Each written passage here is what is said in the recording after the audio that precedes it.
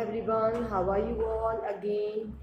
Okay, so now here you can see that there's a different thing that man is going to explain. No doubt our uh, like sixth chapter in English one is also remaining articles. Before that, I'm sending you this that is composition one. Yes, they are also there in our examination and you are go- going to make the preparation for the same also. Okay, so here I am here. I have brought for you that composition one in English one. Okay, so here what you need to do, I am sending you the exercise sheet only. So in the next page of this exercise sheet, you are going to write down the composition or if you don't write the composition uh, after that like in the next page of this exercise sheet you can copy the same thing into your notebook also okay so first of all let me uh, like explain the whole composition to you मैं एक बार explain कर दूँ उसके बाद if you have any doubt you can ask me into the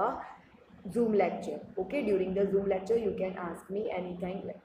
anytime okay so our composition number one देखो two compositions are there okay here i am going to explain the first composition that is my best friend the another is also there but from exam point of view you need to prepare only one जो भी आपको अच्छा लगे वो वाला prepare कर लेना for your examination okay चलो let us begin my best friend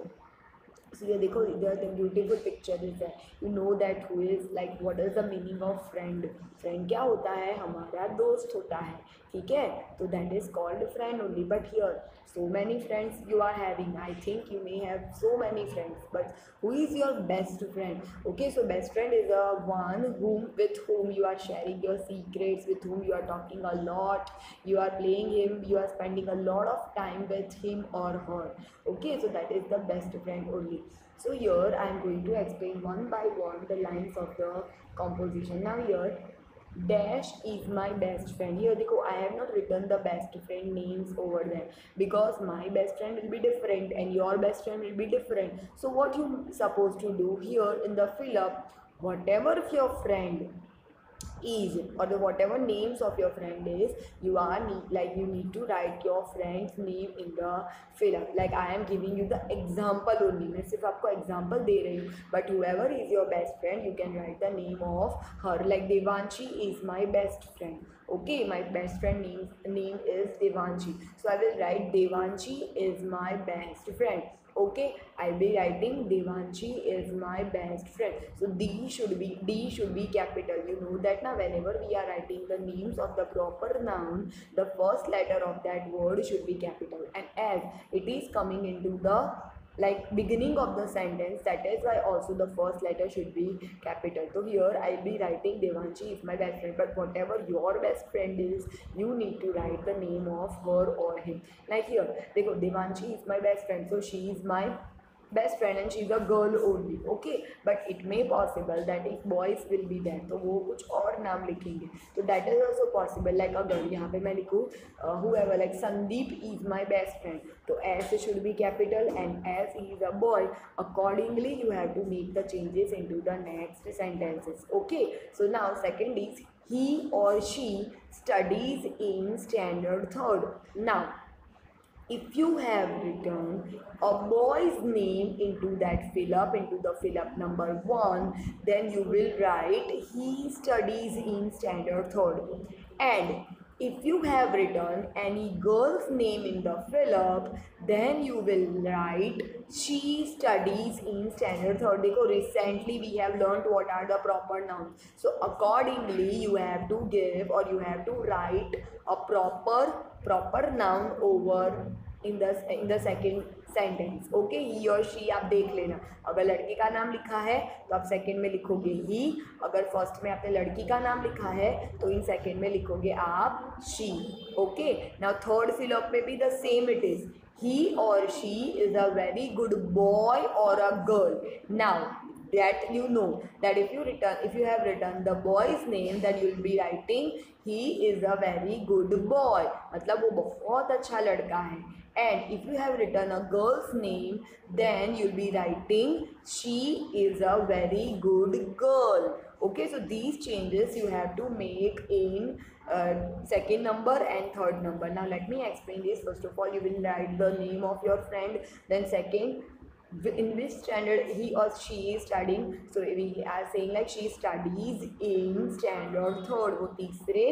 Standard में पढ़ती है या पढ़ता है whatever okay and she is a very good girl और he is a very good boy वो बहुत अच्छा लड़का है, या तो फिर वो बहुत अच्छी लड़की है. For your friend you'll be saying this good good things only ना? हाँ आप तो अपने फ्रेंड के बारे में अच्छी अच्छी बातें बोलोगे, खराब खराब बातें थोड़ी बोलने वाले हो. That that is your secret only don't share और don't reveal your secret with any other any one okay now let us move to the fourth one he or she is my classmate here also if you have written he you have to written he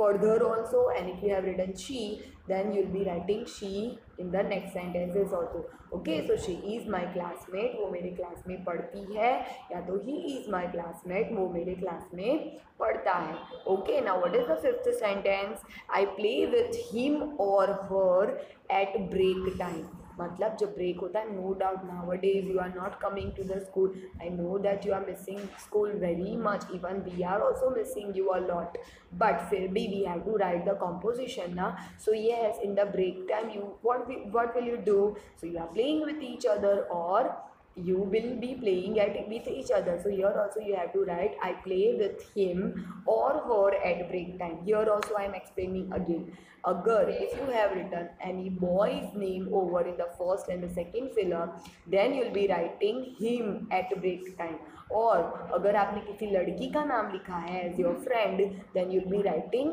her at break time याद रखना भूलना मत accordingly you have to make the changes don't forget that we have just uh, learned what are the pronouns so whatever girl name or whatever boy's name you have written in the first film accordingly you have to make the changes okay चलो ना question like sentence number six is he और she is very helpful to me every time वो मुझे हर बार बहुत help करती है या करता है okay whatever you have to decide he आएगा या शी आएगा ना okay he is very helpful yes our friends are very helpful to us now oh, they like help us every time. So here also it has been written like my friend helps me every time every time okay so he is very helpful to me every time वो बहुत मदद करता है, मेरी या करती है मेरी okay now seven we study and play together in the seven sentence you don't need to make any changes आपको कोई चेंजेस करने की ज़रूरत नहीं. As it is you are going to copy the sentence like we study and play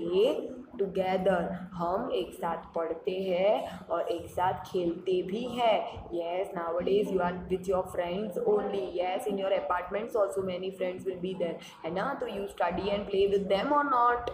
yes so here also we are going to write we study and play together हम एक साथ मिलके स्टडी भी करते हैं और खेलते भी हैं okay now number eight he or she is very good in sports yes actually your friend will be very good in sports sports का मतलब वो sports खेलने में भी बहुत अच्छा है या बहुत अच्छी है okay whatever will be your friend they are playing the sports or not वो sports तो खेलते होंगे ना खेल तो खेलते होंगे yes so here it has been written कि she is very good in sports or he is very good in sports, so accordingly, whatever you have written, he तो आपको लिखना पड़ेगा he. देखो,